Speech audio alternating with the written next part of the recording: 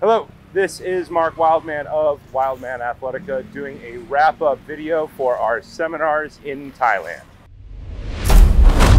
We did not get all of the footage that we wanted here in Thailand. What I learned was that I need to hire and bring a camera person with me because normally I do a lot of stuff on my own, but when traveling in a foreign country like this, with language barriers and everything else, I should probably bring somebody to help me out. The primary focus for me always is as a coach. So we were up at 6:30 every day to do our pre-workout, discuss each individual client's needs, talk about how we needed to modify our overall plan for the day, and then we get right into training at 8:30. We train through in blocks until 12:30 then we take lunch break. We come back and we train until 5:30 or 6 depending on the day. We all went to a team dinner every day.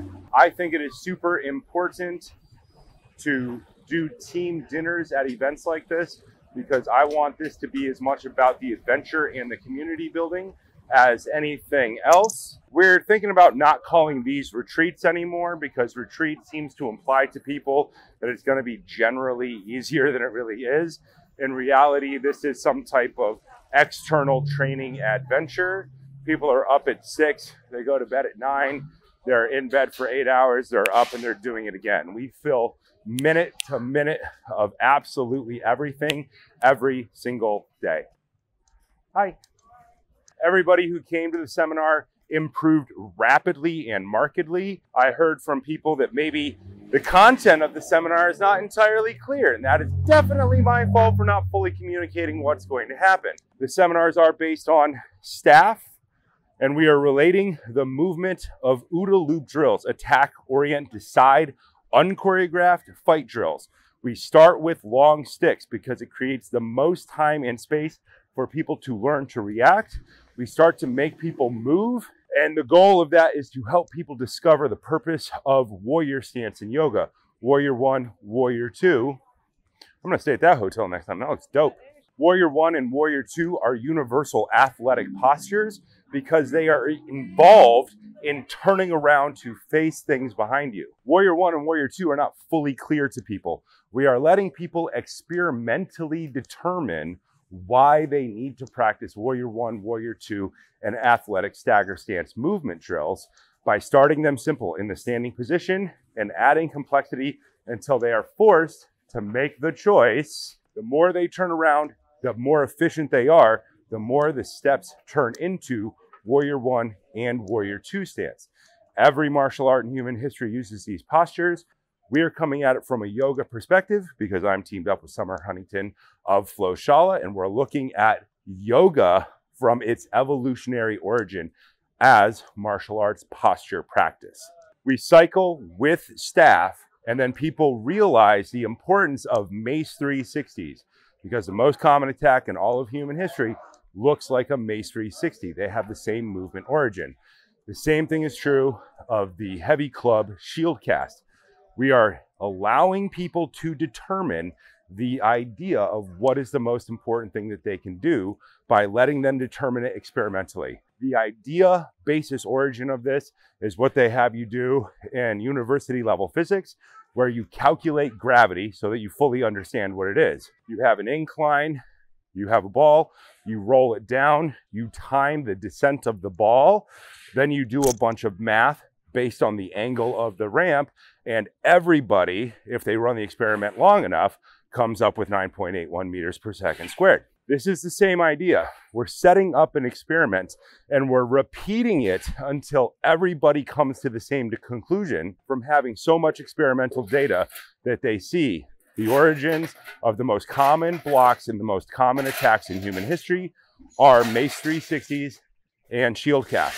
Then we build out from there with all this stuff. So this is a yoga seminar, a heavy club seminar, a mace seminar, and an OODA loop self-defense seminar, starting with long sticks and moving towards the short sticks. Long sticks allow people more time because the stick moves further in space to figure out what they need to do and to line up their body behind it. This is not how martial arts are taught. This is only how I teach it. Most people in martial arts would not let you touch weapons, for the first five years of martial arts training, and they would train you only in open or empty hand movements. I do it exactly the opposite of that. And I do that because humans have thumbs and we are lever users. If you weigh less than somebody, the odds of you winning a fight are low. That's why there are weight classes in martial arts. So I've trained a lot of women, models, actresses, and everything. If they really wanted to defend themselves, the best thing that they could possibly do would be to pick up a weapon and learn how to use it most effectively. Long sticks lead to short sticks, lead to metal sticks, which are machetes or peasants' agricultural big knives. Then after that, we take away the weapons. Then we would do empty hand. That is beyond the scope of this seminar, but that will be in future seminars. We're going to keep trying to edit and see what we got. We mostly filmed students so that we could go back and look at their movement later, day by day, to see what they did well and when they did it, so that we can engineer the experience to be better next time. That is always the idea. These are ongoing practices, and these seminars are going to continue to go and get more elaborate over time. We had a couple of athletes who were repeats. We had a guy named Travis. This was his third seminar. He was a monster, stepped hard, hit hard, got really good, really fast. We had another gentleman named Brian, his second seminar. He hit really hard. Uh, it was fascinating and amazing. Everybody came out of that seminar drastically improved and forever changed. That's the idea. Change people forever. Things that they learn experimentally, I never have to tell them or teach them. And we have altered the structure of their brain forever, and they will never be able to forget what they learned in that five day period. That's the goal. That's always the goal. We are getting really deep up into coaching theory and what the human body actually needs for training, why, how much, and when. It gets super nerdy, but that's kind of the point of this channel to learn skills, the most important ones, in the best way possible in the shortest period of time with the least amount of nonsensical bullshit. We do nothing that does not have a purpose because I'm old and I am too lazy to do shit that doesn't matter or doesn't yield results.